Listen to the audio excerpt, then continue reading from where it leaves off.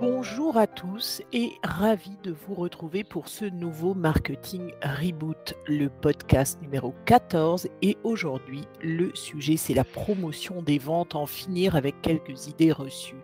Alors, pour ce thème absolument magnifique, euh, j'ai l'immense plaisir d'être accompagné par Thibaut et Grégoire et Bonjour. un invité de marque, Sandrine, notre VIP de la promo des ventes. Bonjour Sandrine. Bonjour Ivelis, Thibaut, Grégoire, bonjour. Alors pour commencer, on va s'intéresser à ce terme de promotion. Ben, la promotion, c'est le quatrième P du marketing mix, hein, vous le savez, le produit, le prix, place on dit en, en anglais. Et le quatrième, c'est la promotion. C'est un outil extrêmement important et qui concentre beaucoup, beaucoup des investissements des entreprises. Mais ce P, comment on peut le définir? Un peu mieux que ce qu'il n'est défini avec les 4 P qui le dessert un peu la promotion, c'est une modification temporaire et tangible de l'offre dont l'objectif est d'avoir un impact direct sur le comportement des clients de l'entreprise. Donc on a bien la notion d'impact sur un comportement. C'est une opération qui est courte, aléatoire, exceptionnelle, comme nous le dit Nestlin, un des grands pontes de la promotion des ventes. Évidemment, ce n'est pas un outil attitudinal, contrairement à la publicité, c'est bien un outil comportemental, comme le précise Chandon dans la définition que je viens de vous donner. Alors, attaquons-nous aux idées reçues en ce qui concerne la promotion. La première idée que Thibaut va nous commenter, c'est la promotion des ventes, c'est de la réduction de prix. Thibaut, qu'en penses-tu? Eh bien non, pas seulement la promotion des ventes, ce n'est pas seulement de la réduction de prix. Trop souvent, on associe au fond promotion des ventes avec une action sur le prix. C'est surtout la promotion, on l'a dit, un outil de communication. Donc, il n'y a pas que le prix. C'est important, Isolis, de le préciser dans, dans la promotion des ventes. En réalité, on identifie cinq grandes familles de promotions.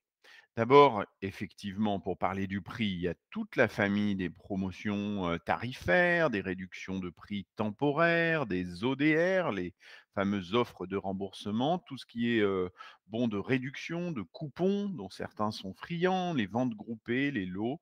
Et puis, les soldes, important de le préciser, ne sont pas une promotion à techniquement parler au, au terme de la législation. Deuxième grande famille, les opérations immersives, tout ce qu'on va appeler la gamification, on y reviendra un peu plus tard. Troisième famille, les primes, les cadeaux qui peuvent être directs, qui peuvent être différés, qui peuvent être liés au produit, toutes sortes de primes et de cadeaux bien entendu. Les techniques d'essai gratuits, c'est notre quatrième famille de, promotion. Et puis la cinquième, c'est la PLV, hein, donc toute la publicité sur le lieu de vente, l'information en magasin, la mise en avant, les prospectus qui sont un levier fondamental. Donc on le voit, la promotion, c'est un ensemble de techniques avec des familles qui, qui peuvent être, assez différentes. Alors un exemple, de, de promotion des ventes, qui qui montre bien qu'il n'y a pas que la réduction de prix dans la promo, c'est bien sûr l'exemple célèbre de la bière anglaise John Smith. Alors John Smith, heu, vous savez que c'est un peu monsieur tout le monde, hein, heu heu, on pourrait traduire, en français. C'est une bière importante au Royaume-Uni, mais qui souffrait d'un déficit d'accessibilité, de notoriété, de visibilité et donc ils ont souhaité utiliser, la promotion des ventes pour se relancer, pour accélérer et augmenter leur, leur visibilité. Ils ont utilisé pour ça des kakémonos dans les pubs, anglais qui sont des endroits très fréquentés comme vous le savez et alors ce qui est très intéressant dans cette, campagne, qui est devenue assez célèbre, c'est qu'ils ont pris au fond le contre-pied de tous les codes traditionnels de la promotion. Donc, ils ont utilisé du jaune et du rouge, hein, pour attraper le regard et ils vont ensuite, avec des sur leurs différents kakémonos, prendre, le contre-pied, jouer avec les codes classiques de la promotion. Donc, je ne vais pas tous vous les citer, mais par exemple, offre fantastique, hein, on pouvait lire sur un kakémono, vous pouvez faire quoi? acheter une pinte de John Smith. Deuxième kakémono, un instant gagnant, je concours, acheter une pinte de John Smith et gagner quoi? Une satisfaction immédiate. Ou bien, troisième kakémono, euh, deux pour le prix de deux. Alors que, comme vous le savez, c'est euh, plutôt 13 à la douzaine ou 3 pour le prix de 2 qu'on aime bien faire. Donc une sorte de transgression de tous les codes de, la promotion. Euh, et ça, c'est euh, bien entendu très puissant. Alors, on peut même donner la, fin de cette campagne promotionnelle, puisque au-delà de ces kakemono, il y avait un, un, jeu concours avec en premier lot, devinez quoi, une pinte. Parce qu'il n'y a rien de meilleur qu'une pinte de John Smith. Et en deuxième lot, une Jaguar, voire en troisième lot, je crois, un voyage dans un pays exotique. Donc on le voit, on utilise les codes de la promo, y compris la hiérarchie des primes hein, et des dotations, pour illustrer, créer un sentiment, un, changement temporaire et sortir au fond de, des, codes classiques pour, pour, pour, augmenter la notoriété, la présence de, à l'esprit de la marque. Voilà, Merci beaucoup Thibaut. Effectivement, hein, je crois que John Smith prouve parfaitement bien que la promotion des ventes, ce n'est pas que de la réduction de prix et ce n'est même parfois pas du tout, du tout de la réduction de prix. On vient de le voir très clairement. Alors la deuxième idée reçue, les réductions de prix sont les promotions les plus efficaces. Sandrine, qu'est-ce que tu en penses? Alors, c'est une idée reçue. Bon, la première chose quand même à réexpliquer, c'est que ce sont quand même des techniques euh, efficaces. Les promotions en général sont des techniques très efficaces. On multiplie vos ventes par 2, par 3, par 10. C'est assez incroyable. Maintenant, reprenons premièrement notre explication de, euh, de, la réduction de prix qui est peut-être un peu moins efficace que les autres. Et pour cela, reprenons la notion de valeur qui est fondamentale en marketing. Cette notion de valeur que, dans laquelle on, a l'habitude de la présenter pour la, comprendre et d'aller chercher en, économie hein, chez les, utilitaristes. On a donc euh, un coût on a un bénéfice, notre consommateur a un coût de consommation, il a des bénéfices de consommation. Et parmi les coûts de consommation, vous avez bien sûr des sacrifices tels que bah, le coût financier, il va falloir payer, qui est une perte pour le, consommateur. Il y a du temps, il y a des efforts, il y a des risques éventuellement à consommer. Mais de l'autre côté, hein, et c'est la raison pour laquelle les uns et les autres nous allons acheter des produits, il y a des bénéfices. premièrement, instrumentaux, euh, ensuite éventuellement euh, de plaisirs euh, sociaux, éthiques à consommer. Hein. et puis même, nous le verrons tout de suite, hein, des bénéfices dans la transaction en elle-même. Alors, euh, Thaler, notre prix Nobel, hein, qui a été euh, cité, je crois, hein, assez régulièrement dans ses marketing reboots, a obtenu le prix Nobel, entre autres pour tous ses travaux, montrant l'asymétrie de la fonction de la valeur. C'est-à-dire qu'une perte, par vous, par moi, par les individus en général, va être perçue souvent comme beaucoup plus importante qu'un gain. Ça veut dire quoi? Concrètement, vous êtes dans la rue, vous perdez 10 euros. C'est beaucoup plus dramatique pour vous que de trouver 10 euros une perte est perçue comme est valorisée euh, de façon plus négative que la même chose si ça avait été un gain. Eh bien, ça marche de la même façon pour la promotion. C'est-à-dire qu'une réduction de prix de 10 euros, ça reste toujours quand même une perte, un coût financier. Vous payez et c'est moins valorisé que la même quantité si c'était présenté sous forme d'un gain. Et donc ici, donc une prime, un cadeau, un produit en plus. Donc ici, ce que je, veux montrer, et c'est en effet cette idée reçue, c'est que la, la, promotion par la réduction de prix est moins efficace en fait que lorsque vous allez le cadrer autrement en proposant un produit en plus. Euh, et c'est donc le dilemme, vous savez, classique. Est-ce qu'on demande moins à notre client ou est-ce qu'on lui propose plus? Est-ce que j'ai une pizza que je vais proposer à moins 50% ou est-ce que je vais faire une mécanique promotionnelle qui est deux pizzas pour un? Au bout du compte, c'est la même chose d'un point de vue financier. Hein. C'est euh, le prix, euh, prix moitié. Hein. Mais on ne le présente pas de la même façon. Pourquoi? Parce que d'une façon, il y a une façon qui est de réduire la perte, de l'autre d'augmenter le gain, il s'avère que lorsque euh, on le présente une promotion sous forme de gain, c'est beaucoup plus euh, efficace. Est-ce qu'on reste perdant, payant, ou est-ce qu'au contraire, on devient un gagnant? Alors ça, c'est la première chose qui explique pourquoi la réduction de prix n'est pas toujours la plus efficace. Puis il y a une deuxième chose. Moi, je suis certaine que ça vous est tous arrivé les uns les autres. Vous achetez finalement un produit, un vêtement, et puis après l'avoir acheté, vous l'avez acheté parce qu'il était en promo, quoi, voilà. Puis après, une fois l'avoir acheté, vous vous dites, bah, pourquoi je l'ai acheté? J'ai dépensé, voire j'ai même dépensé plus cher que ce que j'avais prévu.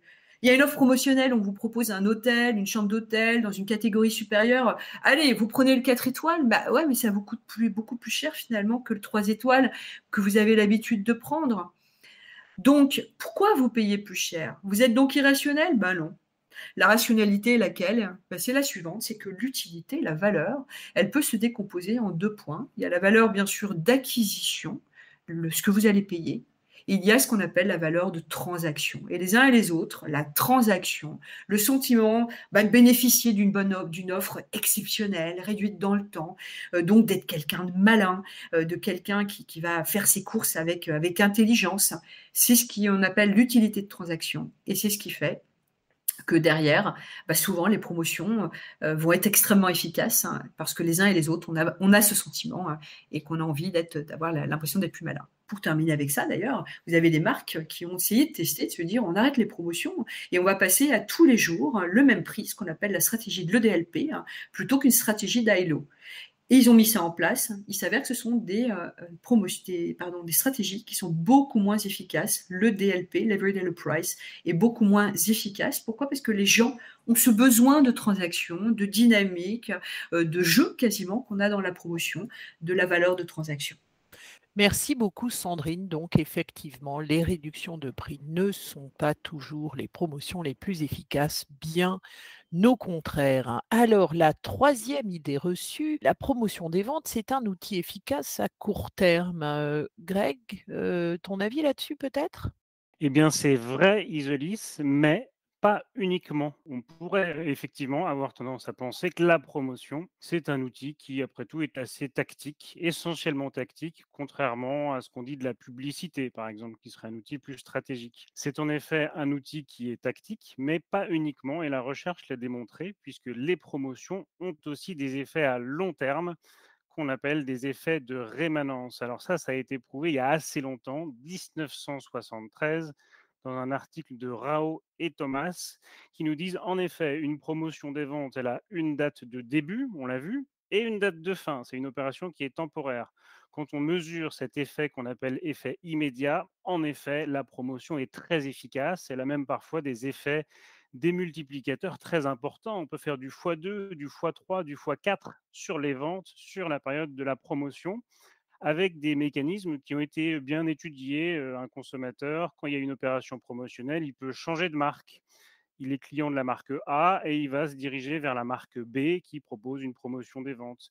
Il va éventuellement changer de magasin dans un magasin qui proposerait une opération versus l'autre qui ne proposerait pas l'opération. Il peut anticiper des achats qu'il a prévus. J'ai prévu de, je sais pas, de m'acheter une voiture l'année prochaine, mais compte tenu de la promotion actuelle, eh ben, je vais anticiper cet achat-là. Ou alors je vais acheter en quantité supplémentaire. J'avais prévu d'acheter un pack de coca et je vais plutôt en acheter deux ou trois parce que la promotion, elle est là tout de suite. Voilà les quatre grands mécanismes qui expliquent qu'effectivement, ça a un effet de court terme qui est immédiat. Ce qui est intéressant dans ces travaux de 73, c'est qu'on décompose ces effets immédiats en fonction d'une baseline. Quel est le niveau moyen des comportements et donc des ventes? Avant l'opération promotionnelle et après l'opération promotionnelle. On s'aperçoit qu'en effet, juste avant une opération promotionnelle, ben, les ventes peuvent avoir tendance à diminuer. C'est ce qu'on appelle un effet d'anticipation.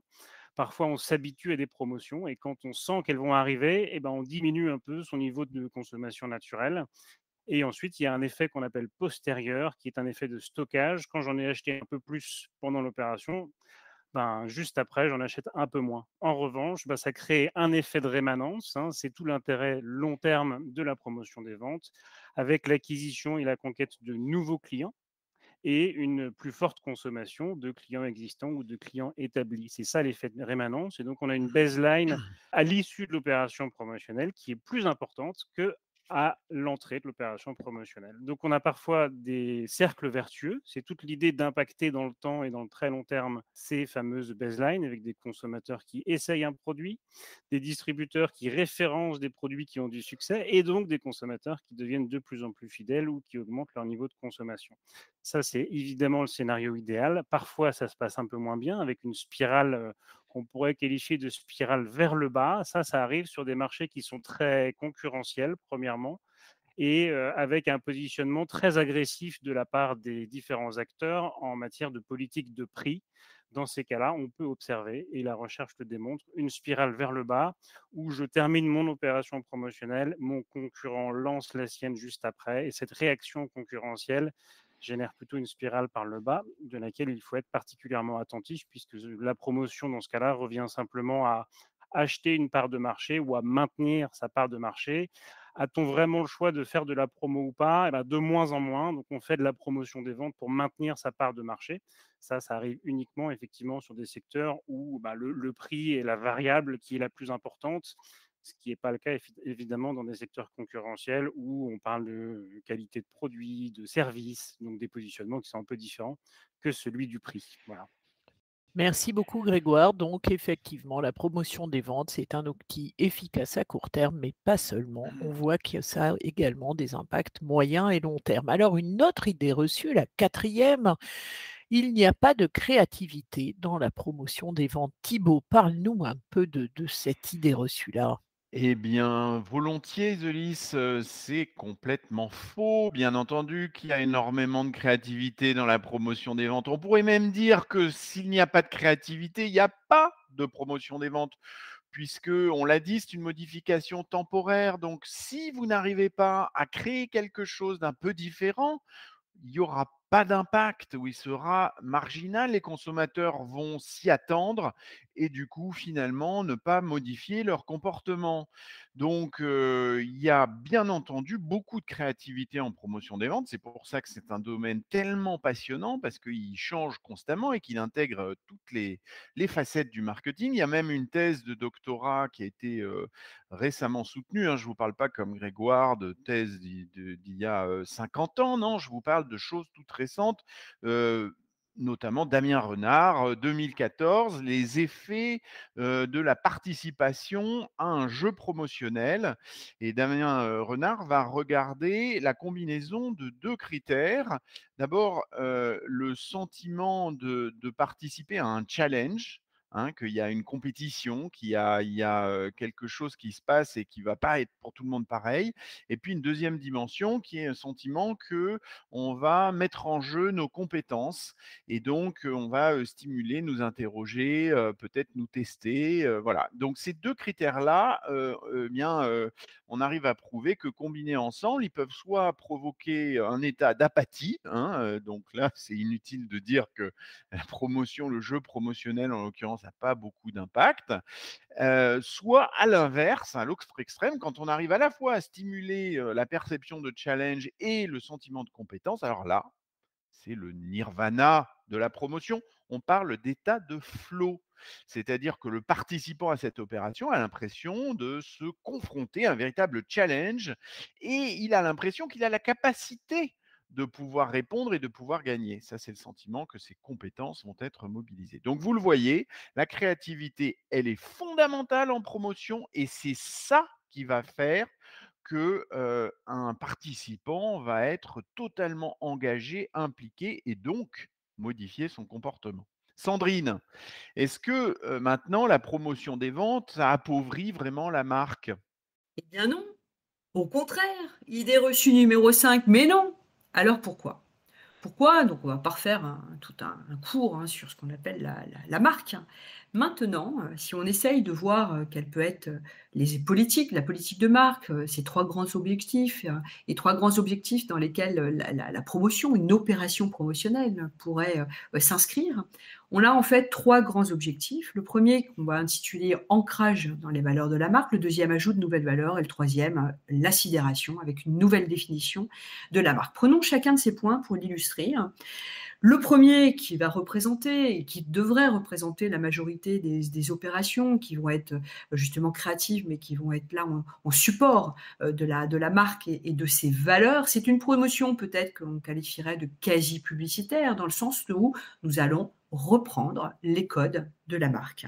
Alors, un exemple pour illustrer tout, de suite ceci, hein, une promotion est une communication, hein, on envoie un message. Hein. donc, si on envoie un message, à nouveau, il faudrait qu'il soit le plus souvent ancré au moins à minima hein, dans les, euh, les, valeurs de la marque. Et c'est ce que nous a fait hein, Monopoly hein, avec cette magnifique opération pour fêter les 80 ans de Monopoly, donc il y a quelques temps, pas si longtemps que ça, à travers le monde. Une opération qui a été en France où ils ont bah, décidé hein, d'être complètement ancrés dans les valeurs du Monopoly, hein, une marque où on joue avec des billets, de l'argent, eh bien, ils ont pris 80 boîtes cette année-là où ils ont remplacé hein, les faux billets du Monopoly par des vrais billets et donc, ce qu'il y avait à gagner, c'est lorsque vous achetiez une de ces boîtes, bah, éventuellement, vous étiez euh, l'heureux gagnant hein, euh, de, euh, la boîte. Alors, vous n'aviez pas toutes les boîtes, hein, où l'ensemble des billets étaient remplacés par des vrais billets, hein, mais vous en aviez quelques-unes, vous aviez donc plus de 20 000 euros qui, qui représentaient, qui étaient, voilà, qui étaient, qui étaient à gagner. Donc complètement ancré, une opération complètement ancrée, vous le voyez, dans les valeurs de la marque. Deuxième étape, on va profiter hein, d'une opération euh, promotionnelle pour ajouter quelques valeurs, euh, ce qui va nous permettre de faire évoluer. Ce pas forcément les valeurs qui sont les valeurs les plus fortes, mais on essaye de compléter. L'opération va permettre d'insister, euh, d'appuyer là-dessus. Hein. C'est ce qu'on va appeler ensemble l'agglutination. On va agglutiner, profiter des valeurs de la promo pour agglutiner dans les valeurs traditionnelles de ma, de ma marque et dans les piliers de ma marque. Et on le voit souvent apparaître, vous le savez, vous le voyez bien avec tout ce qui va être le caritatif, hein, le RSE, hein, ces opérations où les marques vont montrer qu'elles ont elles aussi des valeurs, hein, qu'elles développent euh, là-dedans, dans ces thématiques du caritatif, du RSE, et qui vont utiliser des opérations promotionnelles pour le dire, pour le promouvoir. C'est typiquement, euh, prenons un exemple, euh, de euh, planter des arbres, je pense au Liban, où hein, j'ai cette chance d'aller régulièrement, donc de planter des cèdres dans certaines régions lorsque vous êtes une banque, et donc soutenir sur certaines périodes donc le reboisement. C'est le Louis Vuitton avec UNICEF hein, qui va proposer l'achat d'un petit bijou en argent. Alors à l'origine, c'était donc un, collier, puis c'est devenu aussi la possibilité d'acheter euh, euh, les bracelets, et puis maintenant vous pouvez acheter euh, Doudou Louis, ou une grosse partie, c'est plus de 200 ou 300 euros, qui vont être reversés hein, à l'UNICEF. Voilà, nous complétons hein, les valeurs de luxe hein, de Louis Vuitton par des valeurs qui vont être plus orientées, vous l'avez compris, sur le caritatif. Et puis le, dernier point, extrêmement rare. Extrêmement rare, c'est vous allez utiliser la promotion pour redéfinir votre politique de marque et vos valeurs de marque. Extrêmement rare parce que je ne pense pas que la promotion soit toujours la plus adaptée pour ça. Bien sûr, si vous devez redéfinir complètement votre marque, hein, hein, ses valeurs, son ADN, euh, c'est plus de la communication, de la publicité, modifier votre politique de produit.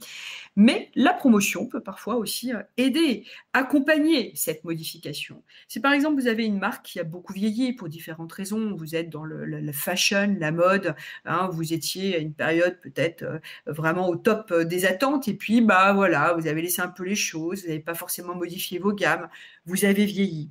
Et donc, vous avez envie là de, ressaisir, vous ressaisir, d'aller remodifier hein, ces valeurs de marque et aller chercher une clientèle qui est peut-être un peu plus jeune. C'est ce que font euh, de temps en temps hein, certains. je pense à une marque autrichienne qui l'a fait il n'y a pas si longtemps que ça, hein, et puis qui a fait cette opération. Venez tout nu, nous vous habillerons. Et bien voilà, hein, un jour donné, euh, vous veniez, vous étiez tout nu, mais alors tout nu de chez tout nu, hein, et euh, vous aviez la possibilité de gagner 5 euh, coupons de 380 euros à peu près pour vous rhabiller dans le magasin. Ben, je peux vous dire que c'est plus que 5 personnes qui se sont ruées tout nu dans les magasins de cette enseigne, euh, donc euh, Kauder. Euh, donc je ne sais plus exactement le nom, surtout que je parle très mal allemand et je passe. Donc merci beaucoup la parole à notre idée reçue numéro 6. Effectivement, merci Sandrine. Le, podcast n'aide pas en termes de promo quand il s'agit de promotion, effectivement, avec des gens qui arrivent tout nus dans les magasins, mais vous pourrez la trouver sur Internet. Elle est assez connue et extrêmement réussie. Elle a eu un très bel impact. Alors, notre sixième et dernière idée reçue, hein, la promotion des ventes, ce n'est pas pour le luxe. Alors, Grégoire, tu en penses quoi de cette idée reçue-là? Et à nouveau, elle est fausse, Isolis, loin de là. Et d'ailleurs, on a plusieurs exemples réussis d'acteurs du secteur du luxe qui exploitent ce type de mécanique. On a, euh, je pense, tous en tête des opérations limitées pour, par exemple, réaliser une gravure personnalisée sur euh, un flacon de parfum chez Guerlain. On peut citer une magnifique opération, celle de Louis XIII, une maison de cognac d'exception. On parle de plus de 3000 euros le flacon de cognac qui réalise une opération digitale totalement immersive sur le principe d'une chasse au trésor en 13 énigmes pour la marque Louis XIII, une logique d'escape game en digital qui permet à ses clients une immersion totale dans l'univers de la marque avec du raffinement, de la découverte du produit, de l'héritage, du savoir-faire de la marque. Le rationnel derrière ça, la promotion dans le luxe, c'est qu'en effet, la promotion est très efficace sur des catégories de produits ou de services qu'on appelle hédoniques. Il y a deux grands types de promotion. On l'a vu avec Thibault en introduction, de la promotion monétaire d'un côté et de la promotion non monétaire de l'autre des cadeaux, de l'expérientiel. Et en fonction de la catégorie de produits, eh ben, il va y avoir des typologies de promotion plus ou moins efficaces. Sur des produits ou des services qu'on appelle utilitaires, on en a beaucoup parlé, les promotions monétaires, en effet, sont les plus efficaces et de très loin. Les promotions non monétaires, d'ailleurs, sont particulièrement peu efficaces pour des produits ou des services utilitaires. En revanche, pour des produits et des services hédoniques, on évoquait à l'instant Guerlain et Louis XIII, les promotions monétaires, en effet, constituent un danger et un risque même de perdre des ventes. En revanche, les promotions non monétaires, les cadeaux, les expériences, les immersions dans les univers de marque constituent un outil euh, particulièrement efficace. Et donc, c'est assez logiquement que ce soit ce type de mécanique privilégié dans le secteur du luxe.